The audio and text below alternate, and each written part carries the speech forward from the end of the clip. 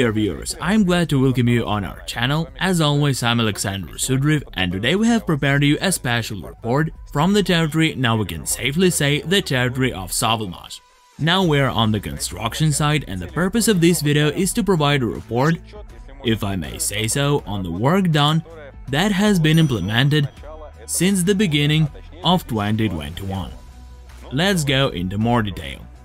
So, especially for those viewers who are watching us for the first time or are not so much interested in the project, let's remember what has been done in general on the Sovelmash construction site and where it is located. The construction site is located on the territory of the Special Economic Zone Technopolis Moscow. The site is located in Alabusheva and it provides you with a number of advantages over the other possible places for the construction of our future D&E.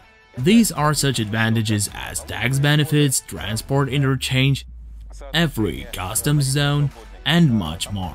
You can learn more about this in more detail from our previous videos. What has been done? The fencing has been erected around the site, which meets all the standards and requirements imposed by the law. To date, the construction camp consisting of temporary structures that include food stations, the administrative building, washing stations for large construction equipment and so on has been fully implemented. The connection of all the necessary engineering utilities, including the temporary ones, has been prepared, both water and electricity supply. What is particularly noteworthy, until recently we could only use the power supply by connecting a power generator. To date, the necessary work is underway and the foundation for the complete transformer substation has already been made. Technically, this is a transformer unit to which electricity will be supplied from Technopolis, Moscow. This will enable us to get an uninterrupted supply of electricity until the end of the construction activities. Further, the drainage system has been implemented. Now, among other things, the work is underway aimed at creating a project well for connecting to the central sewerage system, and so on. Outdoor lighting has been installed, which will enable working at any time of the day in an effective and necessary format. And of course the pit was dug. The pit was backfilled. To date, concrete works have already taken place. The necessary concrete preparatory work has been carried out. Now you can see how the pre-prepared formworks are being installed. The concrete works and pouring the main part of the concrete foundation are to start for further installation of the supporting structures for the building. A lot of work has really been done. I think it's easy to guess that currently at the site, and in general in Zelenograd, it's quite cold. You can clearly observe it from my speech, and despite this, the work does not stand still, it continues. A lot has been done and even more work needs to be done. Also note that part of the metal structures, a rather large part, has already been delivered to the construction site. These are the metal structures manufactured by our subcontractor Astron. Actually, the future D&E building will be constructed using these metal structures. And now let's talk about the news that does not directly relate to the construction site but has happened in the project in general. The work that has been done on the temporary leased premises will also not go unnoticed in our coverage today. It should be noted that there was really a lot of work. It has been carried out in absolutely different lines and at the same time even without being at the Sovelmash construction site. The work related to the construction project is also carried out on the temporary leased premises. In particular, there is an ongoing check of the cost estimates. The Department of Capital Construction and the Planning and Finance Department are working on that. This work is very large scale and extensive. And it is very important. I think that many of you remember us telling about the concept of how this works before. There is a company named Sovelmash. It has a general contractor entered into a contractual relationship with. This is Haka Moscow that is responsible for the construction work carried out on the site, and there is also a subcontractor company Astron that produces metal structures. In fact, the entire turnover of funds, plans and all the events that occur must be controlled. This is what the Capital Construction Department and the Planning and Finance Department of Sovelmash do. It should be taken into consideration that Haka Moscow also employs contractors to perform certain works. and the process of improving the cost of services rendered requires close attention from all the responsible persons involved. So, this is a very large scope of work.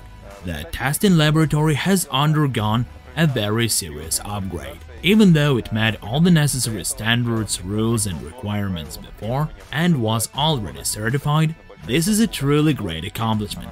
But now it has become even more efficient, there are additional benches, in particular a large load bench, that enables testing larger monitors. The footage you can see on your screens shows what it looks like now. Follow the news, because in the near future, we will prepare a separate episode for you in which we will tell you more about how the laboratory has been transformed and perhaps open the veil of mystery concerning what it can do. I think it will be very interesting. But this is not all the work being done. One of the most important pieces of news is the new additional leased premises that will house an automated production line, the purpose of which is producing small-scale pilot batches of induction electric motors. This is necessary for training personnel, for working with research and development projects, R&D, 46 of which are in progress at the moment. This is really a lot. In the future, this production line will be moved to the area of the Future Design and Engineering Technology Department of Sovelmash. The line itself has already been paid for.